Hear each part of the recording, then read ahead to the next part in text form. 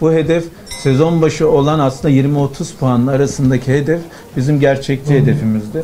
Emin olun 30 ya da üzeri olabilir mi derken e, şu ikinci yarıya da bakıyoruz. 9-10 galibiyet içselliğinde gidiyoruz o fikstür aralığında. Ama olmaya da bilir. Hep bahsedilen Avrupa ya da sıralamada çok iyi bir pozisyon alabilme adına da neler gerçekleşebiliriz? Kamp döneminden itibaren de onun üzerinde çalıştık.